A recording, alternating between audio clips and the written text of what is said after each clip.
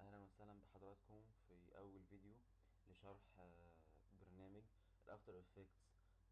شرحه لحد احتراف إن شاء الله بإذن الله وإزاي تستخدمه في صنع آه، آه، الحاجات اللي نقدر نشوفها في في الإعلانات. آه، سواء بقى كان فيها شوية خدع أو آه، في الأفلام خدع سينمائية أو صناعة آه، ال motion graphics آه، عن طريق اللي هي الفيديوهات الدعائية زي بتاعت القنوات. CBC on TV إلى آخره يعني. طبعا آه، أنا مش هبتدي هنا بشرح إزاي نسطبه. آه، خلي ال setup وخلي التعرف على البرنامج هي آخر حاجة هشرحها. أنا هبتدي على طول في الشرح في الشرح التقني بتاعه. آه، شرح ال Adobe After Effects طبعا Adobe After Effects اللي يسمع عنه هو برنامج متخصص لصنع السينما صنع الخدع السينمائية صنع الخدع البصرية ال- الحاجات اللي بتشوفها ويتهيألك ان هي فعلا حقيقية سواء كان راجل بيطير واحد بيتكلم وخليق وحواليه خلفية متحركة وتفر حاجات كتير جدا. الشخص اللي بيشتعل الكلام ده كله فهو برنامج متخصص في الحاجات دي كلها. بالإجانب إلى أو جانب آه، تخصصه في إتقان جميع أنواع آه، الفنون السينمائية. يعني سواء بقى كان مكساج صوت آه، والله التعديل على الصوت design معين أبدأ أحركه وأحوله 3D أعمل منه إعلان. كل هذه الحاجات اللي بتستخدم في آه، صناعة الفن السينمائي أو صناعة الفن عموما في العالم كله.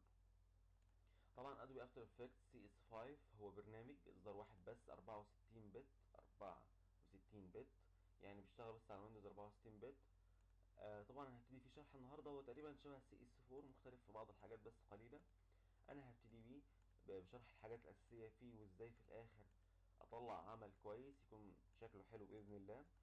طبعا المحاضرات هتتم بشكل مختلف شوية إن أنا ما هشرح في كل فيديو تقنية معينة. تقنية مثلا للتحريك أو تقنية معينة لصناعة الفيديو. هي ليها إن شاء الله محاضرتين تطبيق أو محاضرة واحدة على حسب الدرس اللي شرحته أول مرة. هيبقوا تطبيق بس بشكل معقد. يعني إحنا النهارده هناخد تحريك الصور مثلا من الشمال لليمين أو اليمين للشمال مع المكونات الأساسية للبرنامج. في التطبيق أول تطبيق إن شاء الله بدل ما يبقوا صورة واحدة يبقوا صورتين تلاتة أربعة خمسة. التطبيق التاني يبقوا 30 40 50 صورة ونشوف إزاي نبدأ نتعامل مع كل ال effectات دي. تمام؟ تعالوا نبتدي بأول محاضرة كده. أنتوا زي ما أنتوا شايف- شايفين كده أول ما فتحنا البرنامج بيظهر لكم النافذة ديت. آه، طبعا تعالوا بس نتعرف كده على النوافذ في الأول. إحنا عندنا هنا نافذة اسمها project أو window اسمها project النافذة اللي جنبها اسمها effect control تحت في واحدة اسمها none هي إلى الان اسمها none يعني هي اسمها هيتغير جنبها اسمها render queue في هنا ال composition في هنا ال info ال audio ال preview كل النوافذ دي كلها. نافذة ال project ديت هي بالظبط هي المكان اللي بحط فيه ال data بتاعتي اللي بستدعيها للذاكرة العشوائية أو الذاكرة المؤقتة للبرنامج. بستدعيهم هنا وأبدأ آخد منهم أشوف هعدل في إيه وأعمل إيه. يعني بالظبط ديت كده عاملة زي وعاء مؤقت للبيانات بتاعتي. أحط فيها كل البيانات اللي أنا عايزها مؤقتا وأبدأ أسحبها هنا وأشتغل عليها أشتغل عليها وأحفظ زي ما أنا عايز وفي الآخر أبدأ أحفظ الفيديو يبقى خلاص. كل البيانات اللي هنا تروح. إن هي خلاص أنا قفلت البرنامج وانتهت. أما أجي أفتح المشروع تاني بتبدأ البيانات ترجع لي تاني في نفس الوعاء دوت اللي هو اسمه بروجكت تمام؟ تحت طبعا ده يمكن اللي اتعامل منكم مع فيديوهات قبل كده أو تعامل مع أي برنامج editing أو تحرير هيلاقي إن في حاجة اسمها timeline حتى في ال Photoshop موجود timeline ال timeline دوت آه، هو بالظبط هو ال... الوقت أو الزمن اللي أنا ابدا أحرك فيه ال effect بتاعي. طيب أنا عايز أديكم هنا مثال. برنامج ال After Effects أكتر ما يميزه انه يقدر يحرك لك ال effectات في أربع أبعاد متكاملة. أربع أبعاد إزاي؟ إحنا عارفين هما ثلاث أبعاد دايما إكس واي وزد أي برنامج تاني زي برنامج ال CyberLink PowerDirector أو whatever البرامج اللي هي المونتاج العادية ديت آه، بتحرك لك أي effect في ثلاث أبعاد X Y والزمن. يعني أنا ممكن أخلي ال text بتاعي لو هنفترض إن مؤشر الماوس دوت هو ال text بتاعي أو الكلمة بتاعتي اللي عايز أحركها فأنا بحركها. كده؟ كده طبعا بحركها في احداثيات X و Y وفي نفس الوقت مع الزمن الزمن بيمشي مثلا ثانية 2 3 4 5 والكلمة عمالة تمشي فهنا حركتها في ثلاث أبعاد. ال After Effects أكثر حاجة تميزه طبعا دي مش أكثر حاجة يعني هو فيه مميزات كتيرة جدا يكاد لا يكون فيه عيوب يعني. إن هو بيحرك الحاجات في أربع أبعاد إكس واي وزد زائد الزمن أو ال T. تمام؟ طبعا كل الكلام ده هيبان أكتر مع شغلنا. طيب تعالوا بينا كده نبص بقى إحنا قلنا دوت ال composition دوت بالظبط كده أنتوا عارفين شبه آه، وعاء هو دوت قلنا وعاء بنحط فيه ال data المؤقتة بتاعتنا.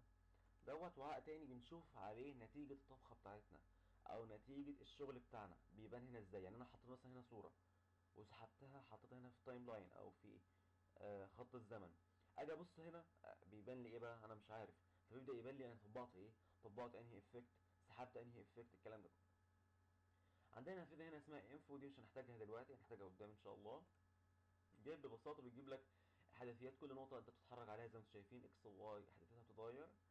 طبعا ال- ال red اللون ال red اللون الأحمر واللون ال green واللون ال blue موجود فيها قد إيه. طبعا ده هتفيدنا قوي قوي في ال chroma يعني في التعامل مع ال chroma. طيب ال audio الصوت طبعا ده يعني معروفة آه، مدى قوة الصوت والكلام ده كله بكام ديسيبل ده هنعرفه برضه إن شاء الله في مكساجة الصوت. وال preview دوت عشان لو خلصت العمل بتاعك وعايز تشغله عشان تشوف هو نظامه إيه بالظبط معاك. هتلاقوا تحت قائمة اسمها Effects and Presets. Effects and Presets هي بالآخر الفلاتر اللي نبدأ استخدمها جوه البرنامج بغض النظر عن الحاجات الغريبة اللي ممكن تلاقوها هنا جوه. هتلاقوا تحت قائمة اسمها paint ودي هنحتاجها قدام وال tracker ديت برضه هنحتاجها قدام مش دلوقتي. طبعا أنا مش بلجأ للشرح التقليدي اللي هو يقعد يشرح لك قوائم البرنامج ويقفل والتانية يقعد يشرح لك قائمة file بتعمل إيه وقائمة edit بتعمل إيه. دوت شرح يعني قد يكون عقيم إيه، إذا ما كانش كده فعلا. أنا بلجأ للتطبيق العملي على طول. تعالوا كده نشتغل نبدأ نعمل. أنا عايز هنا أنا قلت هنا دوت الوعاء اللي بحط فيه ال data بتاعتي أو البيانات بتاعتي المؤقتة اللي هشتغل عليها في البرنامج. طيب عايز أبدأ أبدأ أحط كل حاجة. عشان نبقى عارفين البيانات هنا تنحط في حاجة اسمها compositions.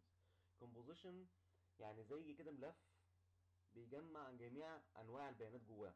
يعني ممكن أعمل فيديو طويل قوي في الآخر أحفظه باسم composition واحد وليكن مثلا graphics engineer تمام؟ وابدأ أعمله render بعد كده. ال composition دوت هو بيلم لي كل الحاجات دي. فأنا عايز أعمل composition جديد فهعمل click يمين واختار. طبعا click يمين أول ما يبان لي المربع الأصفر دوت أقول له new composition وأكتب هنا اسم ال composition بتاعي وليكن graphics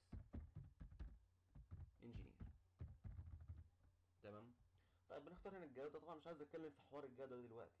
لأن الجودات كتيرة قوي وأنواعها كتيرة قوي. طبعا أنا بشتغل بالتقنية دي اللي هي HD 1280 بكسل في 720 بكسل.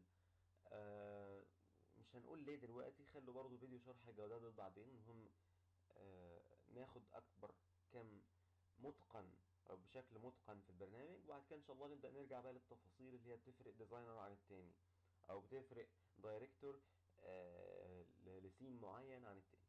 تمام؟ له طبعا black و resolution full ونقول له okay طيب كويس قوي آه كده جالنا ال composition وال timeline خد الزمن بتاعنا اللي كنا محددينه اللي هو كان لو خدتوا بالكم كان ثانيتين تقريبا يعني بقول okay خلاص. كده جالي في ال timeline وكل حاجة تمام. طيب عايز أسحب بقى البيانات بتاعتي اللي أنا هحطها جوه ال composition عشان أبدأ أعدل عليها. هندوس قدامنا حلين يا إما click يمين ونختار import ونختار file يا إما multiple files لو إحنا هندخل أكتر من ملف تمام؟ يا إما على طول نختار click تين ويبدأ يبان لي كل الكلام اللي قدامي اللي أنا عايز أنزله.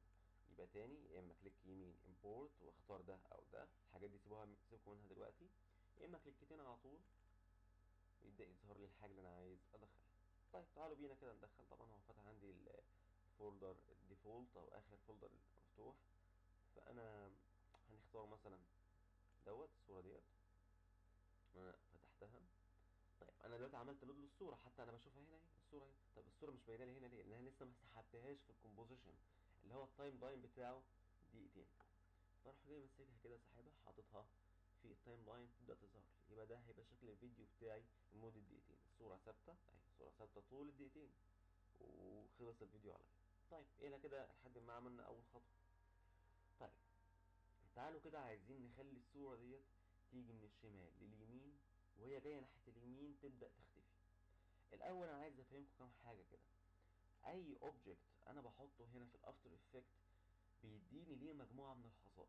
الخصائص ديت هي عبارة عن الانكر بوينت البوزيشن السكيل الروتيت الاوباستي تمام؟ طبعا في حاجات أكتر بس دي يمكن الحاجات ال mainly أو الحاجات ال default اللي إحنا بنستخدمها أو مش اللي بنستخدمها أنا آسف اللي بتبقى موجودة مع أي object ايا كان نوعه سواء بقى كان صورة زي اللي أنا حاططها ديت سواء كان ملف PSD Photoshop ملف EPS Illustrator ملف Premiere مشروع Premiere Adobe Premiere whatever أي حاجة بحطها هنا بيديني الخصائص دي.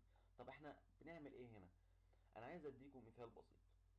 إحنا لو عندنا آه طبعا أنا مش مش محضر sample معايا دلوقتي بس أنتوا لو جيتوا تخيلوا معايا إن الصورة دي جاية من الشمال لليمين يعني هي في الأصل كانت هنا تمام؟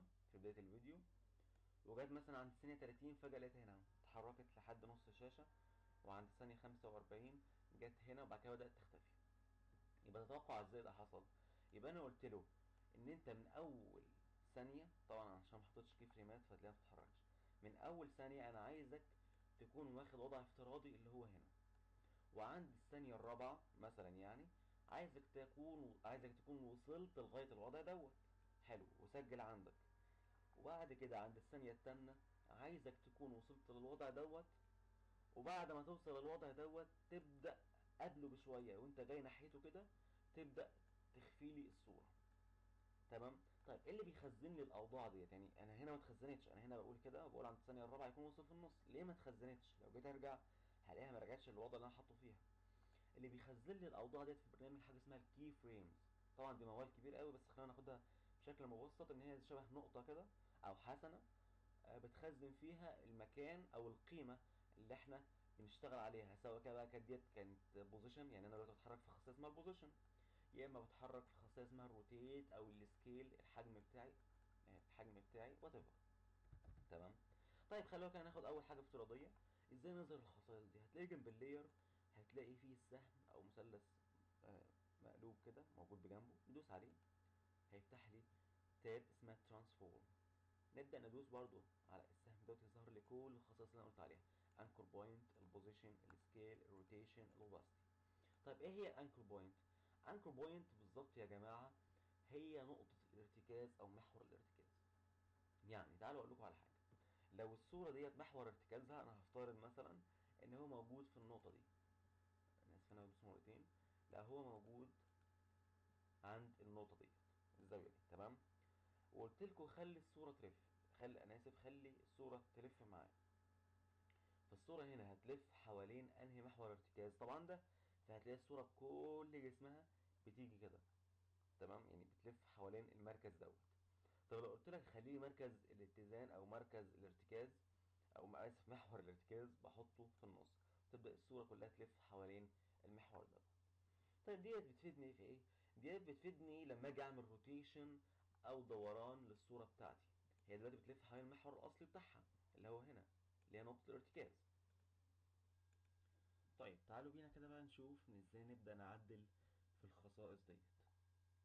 طيب أنا عشان أعدل أي خصائص من ديت لازم أفعل حاجة هنا اسمها ال key frame أو ال key frame ات طيب تعالوا نبتدي كده مثلا بال opacity ال opacity معناها هي مدى الشفافية لل object اللي قدامي. زي ما إحنا عارفين أي فيديو ما بيبتديش قفش كده على طول يبدأ لك بالصورة. يبدأ لك بعملية اسمها fade in تبدأ الصورة مختفية مختفية. تبدأ تظهر بالراحة جدا. تمام؟ طيب عايز أفعل ال key frame بتاعت ال opacity فهدوس على الساعة ديت ويبدأ يظهر لي زي نقطة هنا كده تمام؟ النقطة ديت بحط فيها ال initial value بتاعتي اللي هي هتكون صفر. يبقى أنا اديت قيمة لل opacity اللي هي الشفافية بتاعت ال object بتاعتي عند الثانية صفر إن قيمتها كام؟ صفر في المية. وقلت لها عند الثانية التانية الثانية التانية بتاعتي عايزك تفضلي صفر زي ما أنت. يبقى أنا أجي هنا وأحط key frame من هنا بين السهمين دولت يبقى أنا كده اديت لها key frame تانية أو نقطة تانية بنفس القيمة اللي قبل ديت على طول. طيب أنا عايز زمن النمو بتاعي أو زمن الظهور بتاعي يكون آه بطيء. تمام؟ تعالوا في الأول كده في علاقة رياضية هنقولها دلوقتي بنحسب منها. بس تعالوا نمسك الحالة ال default بتاعتي. أنا مثلا عايز تظهر عن كان هي خلاص لحد الثانية التانية هي مختفية. ولحد الثانية الرابعة عايزة تبدأ تظهر بقى. يعني في نهاية الثانية الرابعة كده لحد نهاية الثانية الرابعة تكون خلاص ديت كاملة الظهور ال object بتاعي يكون ظهر تماما. فباجي هنا بحط key frame تانية طبعا هيديها لي قيمة بصفر. بقول له لا أنا عايز ديت بقى قيمتها ب 100 هنيجي نمشي نلاقي هنا لحد الثانية الثانية هي قيمة صفر من بعد الثانية الثانية لحد الثانية الرابعة تبدأ تظهر بالراحة بالراحة بالراحة لحد ما يديني التأثير اللي أنتوا شايفينه الجميل ده. تمام؟ طيب. هنا أنا عايز أبسطها لكم. لأن أحيانا بتيجي تعمل شغل وتيجي تسلمه لحد معين أو شركة معينة يقول لك أنا مش عاجبني طريقة الدخلة الدخلة سريعة جدا أو آسف الدخلة بطيئة جدا أنا عايز أسرع من كده. فبتقعد تتلخبط. آه طب هي بطيئة؟ أنا المفروض إيه؟ يعني اسرعها اسرعها يعني أعمل إيه؟ بصوا إحنا خدنا زمان إن السرعة بتساوي إيه؟ المسافة على الزمن صح؟ طيب العلاقة اللي كنا بناخدها في الفيزياء دي الله يرحمها يعني. طيب السرعة عندي بتساوي المسافة على الزمن. طيب يبقى أنا عشان أقلل السرعة أو آسف أنا هنا عايز أزود السرعة. لو أنا عايز أزود السرعة بتاعتي يعني تعالوا كده بس في برنامج الرسام عشان آه نعرف نتكلم بوضوح. طيب ال بتساوي X على ال طيب أنا علشان أزود ال V بتاعتي فاكرين الحكاية ديت؟ يا إما نقلل ال يا إما نرفع المسافة نزود المسافة مع ثبوت ال صح؟ طيب تعالوا نبص كده وافتكروا الحكاية دي كويس. أنا هنا هل هنا عندي مسافة؟ أنا ما عنديش مسافة. أنا أساسا أنا عندي effect بيتطبق ما هواش مسافة إلى حد ما إنما اللي ممكن ألعب فيه هو الزمن صح؟ يبقى أنا لو قللت الزمن بتاعي هرفع السرعة بتاعة ال effect بتاعتي صح؟ يبقى أنا أجي هنا كده وأقول له بدل ما هو ثانيتين بياخد ثانيتين اللي هو زمن النمو بتاعي بياخد ثانيتين كاملين أنا عايزهم ثانية واحدة؟ ونجيب ال key frame فين تمام. طبعا كده هيبقى أسرع كتير وهيكون شكله ألطف. العلاقه دي بتطبق طبعا على اي effect إحنا بنستخدمه جوه ال After Effect طيب عملنا كده. طيب لسه ما غيرناش ال position بتاعنا. إحنا عايزين المكان. طيب ال position عشان نستريح إحنا بنيجي طبعا عند النقطة ديت أو عند ال property ديت وأبدأ أدوس على ال key frame ده. بس قبل ما أدوس عليها عايز أقول لكم على حاجة. في بعض الحاجات اللي بتفرق ما بين designer وما بين التاني. يعني أنا ممكن اخلي بعد ما الصورة تظهر أخليها تبدأ تتحرك. طبعا في الحالة دي هتكون so weird جدا يعني هتكون غريبة بشكل فظيع. يعني تخيل كده أنت بادئ حاجة فيديو ماشية ماشية ماشية بعد كده تبدأ تتحرك من هنا. فطبعا بيكون الشكل بتاعها غريب شوية إلا إذا كنت أنت قاصد كده الحاجة هتطلعها بشكل جمالي بعد شوية. أما هو الأصل إن أنت بتعمل حاجة اسمها تشابك ال effect ات أو أو إنك بتلحم ال effect ات كلها في بعضها. تمام؟ فأنا لو عايز أفعل نقطة ال position فبدوس هنا على ال key frame طبعا هي واخدة وضع default اللي هو إيه الوضع default؟ اللي هو المكان اللي الصورة فيه. طيب حاجة كده هقولها لكم في سركم وما تسألونيش ليه دلوقتي هتعرفوها قدام إن شاء الله. إحنا لما بنيجي نفعل ال position بنفعل معاه كمان ال anchor point ودي حاجة هنعرفها قدام إن شاء الله. تمام؟ طيب آه أنا فعلت خلاص تقريبا ال position أهو هما الاثنين مع بعض بس عايز اديها الوضع ال default بتاعها. ما تجيش تلعب لي هنا في القيم ما تقول لي مثلا كده كده أنت هتتلخبط. أنت معلش مش ممكن ما تعرفش الاحداثيات دي بتودي لفين أو مش متداركها قوي X و Y وكده. فاحنا احسن حاجة بتخلي المؤشر بتاعك اللي هو الخط الأحمر دوت في منتصف ال key frame بالظبط. وخلي بالكم أنا بقول لكم في منتصف ال key frame بالظبط. هو لو مش في منتصف ال key frame هيعمل لك key frame يعني بصوا أنا لو جيت مثلا أقول له ال key frame مثلا أنا جيت حطيته على ال key frame هو مش في المنتصف بتاع ال key frame بتاعتي صح؟ لو جيت اديله قيمة تانية هيعمل لي كمان key frame فيصبح عندي كده حركة غبية جدا. يعني لو جينا ن zoom أكتر في ال timeline هتلاقوا في عندنا اتنين key frame طبعا إحنا مش عايزين كده. فإحنا بنخلي الخط بتاعنا في منتصف ال key frame بالظبط تمام؟ وأبدأ اديله الوضع ال initial بتاعه إن أنا أحرك الصورة. أخلي الوضع ال default بتاعها يا إما كده لاحظوا إن القيمة اللي عندي هنا بتتغير يعني القيمة دي اتغيرت أهي بتتغير معايا حسب الوضع ال default اللي أنا عايز الصورة فيه. فأنا عايز الصورة هنا مثلا. طب أنا عايز أقول لكم على حاجة. الصورة أساسا كانت هنا. وأنا بسحبها في اليمين ممكن إيديا تطلعها فوق أو تحت. أنا إزاي أحافظ إنها تمشي في خط مستقيم لو أنا عايزها تمشي في خط مستقيم؟ تيجي لي كده بشكل مستقيم. بدل ما إن أنا أجيبها كده وأرجع أديها قيمة تانية هنا كده مثلا أخليها كده. وأنا إيديا مش عارفة تظبط فتلاقي الصورة بتتحرك إزاي؟ تلاقيها جاية كده بخط غير مستقيم. فأنا لأ أنا آجي هنا من الأول القيمه ال initial بتاعتي. هي أساسا كانت هنا صح؟ أبدأ أدوس على زرار ال shift وأنا بحرك. يعني وأنا بحرك أدوس على زرار ال shift هبص وأنا بحرك ايدي فوق وتحت بس هي ماشية ملتزمة معايا خط مستقيم واحد. اهو تمام. أجي عند ال key frame التانية اللي هي ديت. واقول لها لا انت كنت هنا. طبعا يعني هي المفروض إن أنا أحذف ال key frame ديت عشان أعمل واحدة جديدة. واقول لها أجي أسحب برده ادوس على ال shift فتجيلي طبعا هي كده ماشية خط مستقيم. تبدا مختفية شوية. لحد ما تبدأ تظهر تظهر للصورة بالشكل ده. تمام. دوت إلى حد ما كان أول effect ات. تمام؟ تعالوا كده نكمل بقية ال effect ات ونشوف إزاي ممكن ننهي الفيديو بتاعنا. تمام؟ طيب. بسم الله الرحمن الرحيم كده. آه إحنا خلاص طبقنا بتاعت ال position تعالوا بقى نطبق ال scaling وال rotation تمام؟ طيب. ال scaling أنا لو حاطط مثلا key frame من هنا طبعا أنا بعتذر عن حاجة إن أنا بقول بشكل practical أكتر فعايز الناس لو أسلوب شرحي مثلا عالي شوية ممكن الناس تنبه لي فأنا ههديه خالص. عشان أنا بس بقول key frame ات وما شرحتش إيه هي ال key frame ات باستفاضة. آه فلو رتم شرحي عالي شوية أو سريع جدا ممكن الناس تقول لي أهدي شوية في رتم الشرح بتاعي. تمام؟ طيب. تعالوا هنا خلاص هي الصورة هنا بدأت تظهر. طيب طبعا هي كلمسه جماليه هنا أنا كمصمم يعني. فأنا هرجح إن ال opacity تبدأ تكون لسه مختفية بحيث إن الصورة تكون تبدأ تظهر تبدأ يبان في الفيديو بتاعي إن في حاجة اسمها fade in يبدأ يبان ويا سلام لو قللتها أكتر يعني أو أبعدهم هما الاثنين أحركهم كده. الثانية الثالثه تبدأ يبان عندي ال fade in. بالتالي كده لمسة جمالية أكتر يعني. وهي لسه بتتحرك عايز يحصل لها rotation تمام؟ أو scaling ال scaling اللي هو ال resize ان أنا بغير حجم الصورة بتاعتي. فهاجي هنا طبعا أنا عايزها من إمتى؟ أنا عايز أعمل هنا تلاحم effect ات يعني قبل ما effect يعني لو تلاحظوا هنا قبل ما effect ال position يخلص أكون حاطط effect تاني. طبعا هو ده مش لازم بس ده في أغلب الأحيان يعني عشان يديك لمسة الجماليه المطلوبة. فبحط effect تاني هنا تمام؟ عشان يبدأ يأثر معايا والعين ما تلمحش ال ال ال يعني ال ال الحركة اللي في النص أو الفاصلة اللي ممكن تحصل في النص تمام طبعا أنا اسف بس ان أنا بفصل الفيديو كتير بس دايما بعمل pause يعني. بس معلش عشان تليفوني بيرن وشوية noise كده ملناش دعوة بيها يعني. فخلاص إحنا اتفقنا هنا إن إحنا هنعمل تلاحم effect ات. فأنا عشان أشغل خاصيه ال scaling فبشكل ألذ يعني دي دي دي نصيحة مني أنا كمصمم يعني. تعالى في الآخر كده وفعل ال key frame يعني. ما تخليهاش بعد ما ال transition أو بعد ما ال position يثبت تروح جاي عامل scaling إلا إذا كنت قاصد تعمل كده. أنت ليك هدف من الحركة دي وهتثبتها في الفيديو كله وهتعمل effect عليها وهتشتغل. أما ك ك كفيديو عادي ك كصورة بستخدم صورة واحدة عشان أطلع حاجة محترمة حاجة فيديو لذيذ شكله حلو. فأنا بقول لك خليها في الأفضل تكون كده. تمام؟ طبعا عايزين نكبر دي شوية. تمام؟ نخليها مثلا كده وهي جاية كده.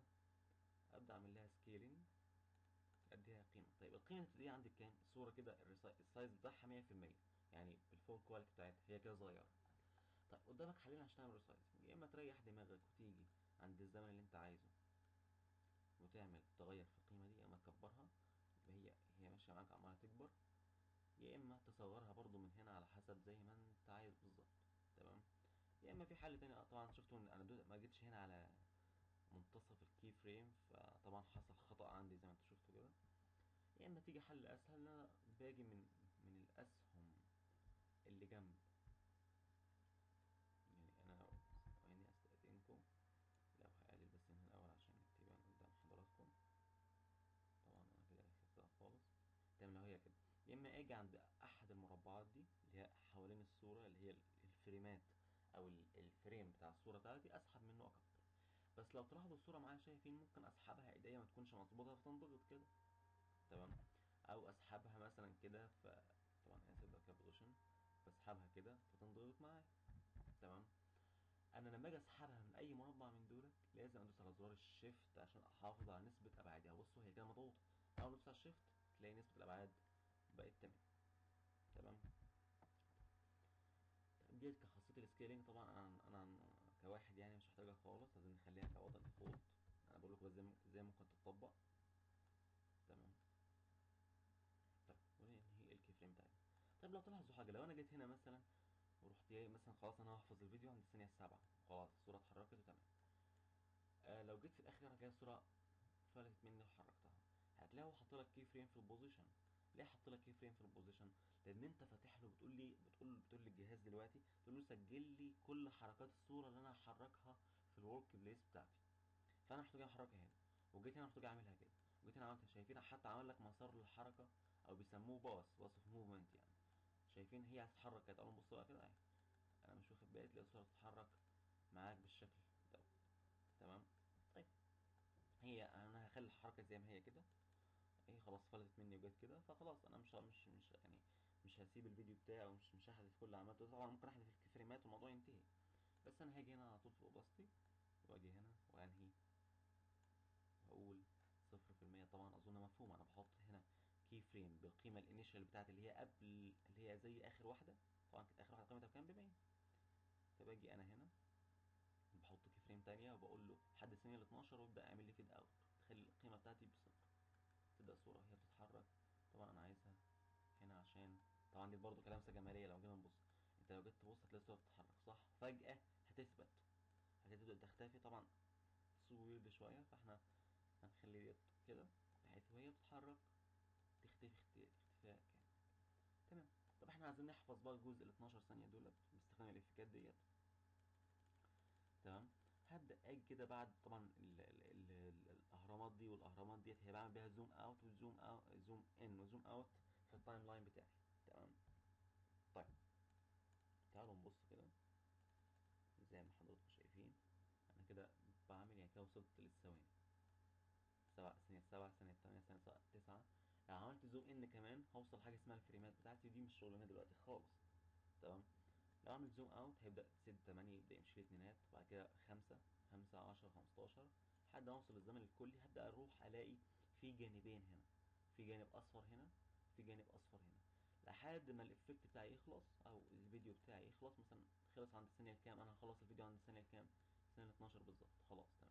أروح جاي رايح وجايب ماسك الجانب دوت أول ما السهم يبدأ يتحول لي كده جاي سحبه عندي هنا. تمام. طبعا هرجع ال zoom out شوية وأخليه كده بالظبط عشان يكون accurate أكتر. تمام. تعالوا نبص كده بقى الفيديو بتاعنا. تمام. هبدأ أحفظ. لو عايز أحفظ بقول له file وأقول له save as واختار ال position بتاع اللي عايز أحفظ فيه واقول له okay تمام. طب لو عايزين ن render أو نحفظ. طيب إيه الفرق بين ال render ة وبين كلمة حفظ طيب إيه هي الإعدادات ال default اللي هي الإعدادات اللي بيسموها الإعدادات العالمية أو ال standards بتاعتي في الفيديو بتاعتي اللي ما بحفظها مفيش حاجة بتعترض عليها؟ واحد يقول لي طب إزاي يعني؟ مش فاهم. هديك مثال. أنا ممكن أحفظ الفيديو بتاعي اللي أنا اشتغلت بيه دوت بصيغة flash video FLV أجي أرفعها مثلا أو أجي أقدم بيها في مسابقة ما تقبلش. ليه؟ لأن أنت عاملها اولا flash video مش الصيغة ال quality اللي هي العالية. ثانيا إن ممكن يكون ال frame per second مش مش متوافق مع الصيغة بتاعتك مش متوافق مع عدد ال frame ات في في ال composition بتاعك. طبعا أنا بقول حاجات غريبة. إيه داخل ال composition بعدد ال frame ات؟ إيه هي عدد ال frame ات أصلا؟ إيه الكلام ده كله؟ طبعا الكلام ده كله أنا هوضحه في الفيديو الجاي إن شاء الله. هذا بس كنت بفتح معاكم البرنامج بسهولة. ونبدا نعمل فيه project بسيط إن إحنا نحرك صورة وده المطلوب عشان بس نكسر الحاجز اللي ما بيننا وبين البرنامج الناس كلها تقول البرنامج ده معقد يعني مش عارف معقد على إيه. تمام؟ آه خلاص كسرنا الحاجز آه مطلوب إن الناس تطبق دلوقتي وإن شاء الله هنعرف التفاصيل دي أكتر إزاي أحفظ الفيديو وأعمل render وايه الفرق بين ال render والحفظ في الفيديو الجاي إن شاء الله. طبعا هنقول الكلام ده في الفيديو الجاي في 10 دقايق بالظبط ونبدأ نعمل application هيكون التطبيق الأول على الدرس دوت هنعمل بقى تطبيق احترافي من الشكل دوت بحيث يكون المنظر بتاعه جميل وحلو وشيء جميل يعني شيء مستخدم شيء بسيط وفي نفس الوقت يكون شيء نظيف كده وحاجة ليها منظر حلو. تمام؟ ده كان أول فيديو شرح. آه شكرا لحضراتكم على المتابعة. آه أتمنى لو كان في أي ليكم نقد على الفيديو أو تعديل إن أنا بتكلم بسرعة أو ما بوضحش معلومة معينة أو ماشي برتم سريع أتمنى إن حضراتكم آه توضحوا لي دوت عشان أبدأ أصلح في الفيديوهات الجاية إن شاء الله. بشكر حضراتكم مرة ثانية آه وأسأل الله العلي القدير أن يعلمنا ما ينفعنا وأن ينفعنا بما علمنا. السلام عليكم ورحمة الله وبركاته. مهندس لؤي ماهر.